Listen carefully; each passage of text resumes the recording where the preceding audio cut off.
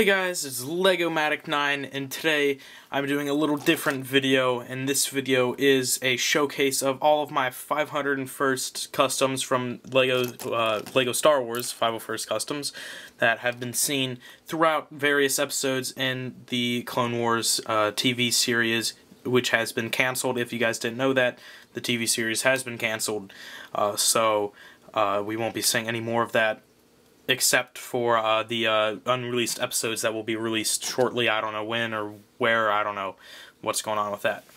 But uh, this video is just a showcase of these figures in a better quality. I already made videos of these figures several times before, but now that I have this new camera, well, new kind of to you guys, uh, I'll I'm going to show you guys like better quality videos of my customs. So this one is just going to be of the 501st figures I have. I also make Walking Dead, a few Walking Dead ones, which you guys will love. Then I have uh, maybe some other Star Wars ones. But here's Lego's 501st Trooper. So I'll just move him out of the way. And I guess we'll just start with my 501st Trooper. Uh, hopefully these show these showcases will be short, but uh, so here's my 501st Trooper. Sorry if you guys kind of see this weird tint uh, on him. For some reason he's kind of showing up a little orange, uh, but he is white, so I apologize for that. I don't know why it's doing that. That weird tint, I mean, because I have these white light bulbs, they should be uh, helping out with that. But uh, anyway, so here is my 501st Trooper. Isn't really all that uh, great. Uh, on these figures, you will know that these lines on the side of their helmets will be terrible because I was dumb and I didn't really paint those very smartly or you know it was just kind of terrible. Then he's still got arm decals. I didn't really feel like peeling them off to paint them on because this figure's pretty old.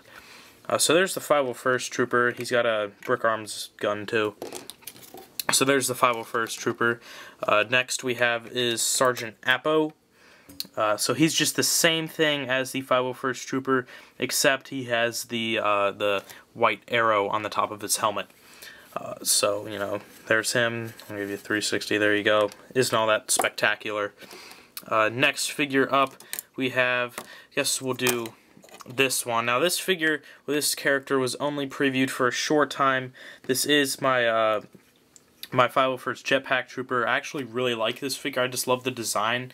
So once Clone Customs comes out with their version of this, I'm going to buy it like quickly because I just love the design of the figure that uh, that you know they came up with, and I just really love it.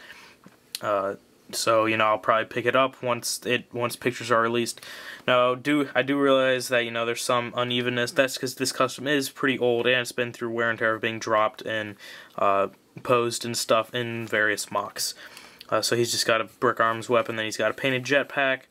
Uh, I've had this figure for a long time now. I've had him since like November. Uh, just don't think I've showed you guys. Then he's just got, you know, the painted legs and everything. So a lot of these customs will be kind of uh, uneven. They won't be that great because they are older. And the blue paint that I use scratches very easy. Uh, so I have to be careful with a lot of these guys. So there will be some little nicks and stuff everywhere. But uh, yeah, and then he's got the you know the red on the his breathers, then the red weird shape up there. I know that's kind of not really that great, but you know whatever. Okay, so next figure up we have, I guess I'll move to Dogma. So here's Dogma. Uh, as you can tell, you know, legs aren't that great, neither are the arms. Arms are kind of terrible, because these are just when I started doing fully painted arms like this. Before I just used to do a stripe, but now I got into the actual detail of it. Uh, so, you know, there's Dogma, nothing all that spectacular about him. Uh, and he's got, you know, the design up there. So I'll move him. Now, these figures that we're getting into now, here, I'll scratch that. We're going to do Hardcase first. So here's Hardcase. Uh, again, he's got some really kind of crappy painted arms and legs. Uh, he's got the BrickArms minigun. And he's got a painted chest. I'll try to move that down. Come on, give me, give me it. So uh, there you can see, you know, painted torso and some painted on the back. He's got, uh, I think his helmet turned out pretty great. Um, isn't really all that uneven anywhere, except, you know, maybe on the top. But overall, I just really think that it, his helmet came out pretty great now that I'm looking at it. Uh, so, you know, there's Hardcase. He's pretty good. Now, these figures that you guys have seen, uh, I did a recent showcase, but we'll just get into them now uh, with better detail. So here's Tup. Uh, he's got, you know, the newly painted arms, which I think turned out great. I just really love how his arms turned out. Uh, the paint, well, not the drop, not the paint drop, just the regular like teardrop. I think they turned out great on both sides. Uh, so there's the other side, and then uh, his helmet turned out pretty, pretty okay. I guess it's pretty good. I guess. Uh, just the lines on the helmet, yeah, they're terrible. I know that. I wasn't good at that because Arealight, like the their helmet kind of like overhanged a little bit or overhung like before. Like instead of just like curving straight down, it, like one side would be like jetting out a little bit. And I can't really show you guys, but uh, one side would be jetting out a little bit, so it's kind of hard to paint that. But then I got smart and I uh, and I used an X-Acto knife and carved that off. So there's Tup. Uh, next figure up we have is Jesse and he was recently updated as well. What I did to him is that I redid the arms on you know both arms. Then I also redid the helmet, which uh, looks better in my opinion. It, before it looked kind of crappy, so I redid it. Um, yeah, and then legs again aren't that great. They they actually are painted dark blue in the knee pads. Uh, you guys just can't really see it because it is a like a really dark navy blue. There you can kind of see it right there. Okay, so two more figures to go. Next figure up we have is Kix. Uh, so there's Kix. What I did to him is that I painted the arms again, uh, you know, repainted them just because the decals look terrible and I just wanted to paint them. I think they turned out the best out of most of them, well, besides fives, but uh, I think the arms turned out the best out of everybody else. I really got the medic symbol pretty good, painted that pretty well. Come on, there you go. And then uh, I got the medic symbol painted on the backpack pretty good, pretty well, whatever, grammar. Uh, yeah, so, you know, there's Kix. He isn't all that spectacular. Then, uh, yeah, and then also what I did do is that on the, uh, on the stripe on the leg, I did make it go, like, onto the side of the leg. Uh, I should have made it go all the way around, but, uh, you know, I will do that soon. Okay, last figure up is my favorite figure, well, my favorite custom that I have to date. He's just one of my best customs ever, and that is Fives. Um, Fives just turned out spectacular. Even though his legs look a little rough, that's just the paint I was using.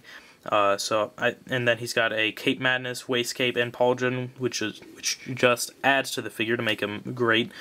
He's got a fully painted torso, well, besides you know the printing under there, but I painted the uh, like the chest pad and the triangles on there, which took me forever. Then the arms, the arms took me probably some of the most time ever to you know make a custom. Uh, I used the new design on them. Then I got you know the four different colors right there. I got the yellow, the white, the red, and the green. And then I just got some more gray designs on them, some more blue. Got the backpack on the back, and then I painted over the helmet. I don't think in my uh, my other showcase of this figure that I've had the painted helmet, but this one I do uh, because the printed Arealight helmet was alright, just I just prefer it painted now. Uh, so what I did was that, you know, I painted the entire top of the helmet, uh, just everywhere on the helmet, basically, and then I painted it on the back because Arealight didn't have printing back there, I don't think, so I had to print back there, and I added those designs on. I just think this figure turned out amazing. Again, sorry that this video is kind of long, 9 minutes right now, uh, so sorry about that, but, you know, whatever, I got all these figures done, and next I'll be splitting these videos up into a few, probably, like four parts probably, just better showcasing of my Walking Dead figures, uh, so those will hopefully be my next videos. So thanks for watching, guys. Like, comment, subscribe. Really means a lot. I'll see you guys later.